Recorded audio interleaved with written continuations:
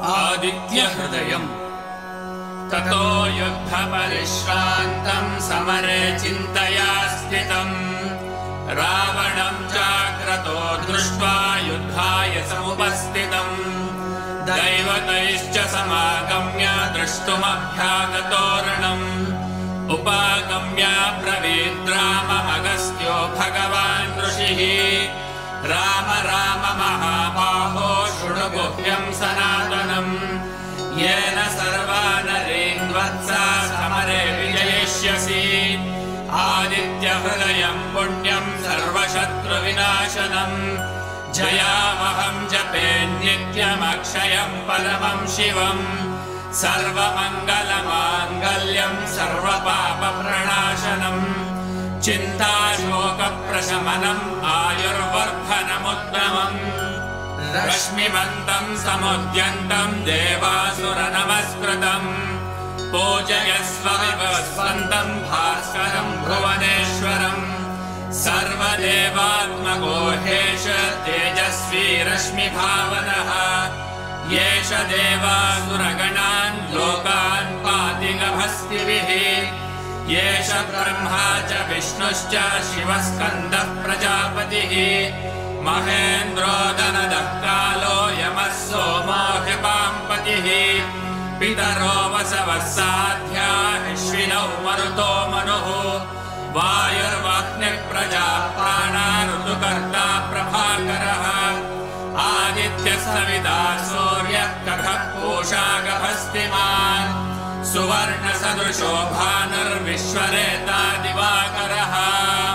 हरिदश्वः सहस्रार्चिः सप्त सप्तर्मरेचिमान् तिमिरोन्मखनः शम्भः स्पष्टा मार्ताण्ड अंशुमान् हिरण्यगर्भः शिशिरस्तपनो भास्वरो रविः अग्निगर्भोदिते पुत्रः शङ्कः शिशिरनाशनः व्योमनाथस्तमो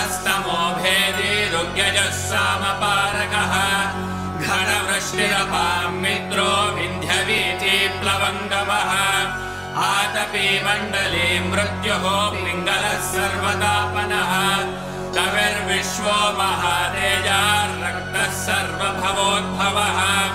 नक्षत्रग्रहताराणामधिपो विश्वभावनः। तेजसामपि तेजस्वी द्वादशात्मा नमोऽस्तु ते। नमः पूर्वाय गिरये पश्चिमायात्रये नमः। ज्योतिर्गणानाम्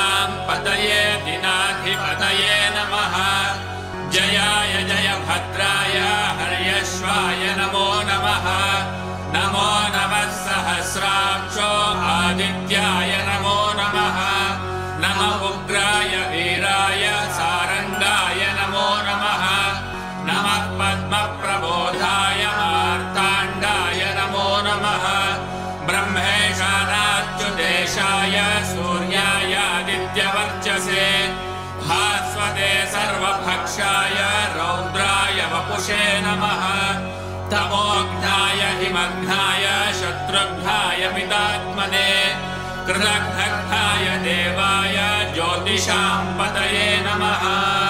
तप्तचामीकराभाय वह्नये विश्वकर्मणे। नमस्तमोऽभिनिघ्नाय रुचये लोकसाक्षिणे। नाशयत्येष वैभूतम् तदेव सृजति प्रभुः।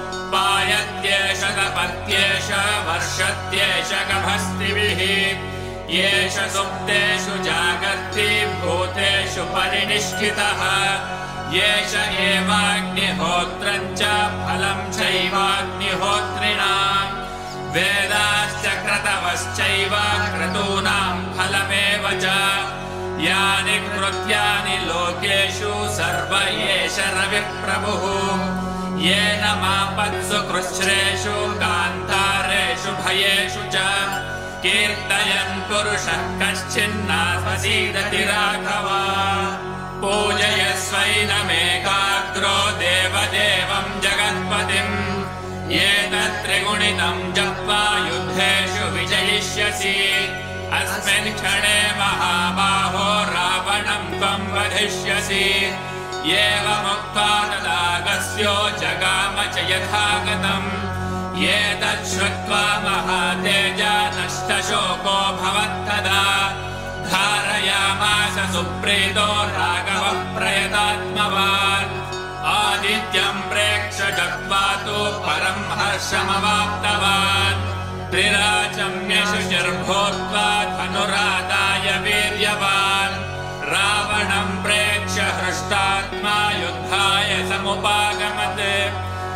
सर्वयत्नेन महता वधे तस्य रुधोऽभवत् अथ रविरवदन् निरीक्ष्य रामम् मुदितमनाः परमम् प्रहृष्यमाणः।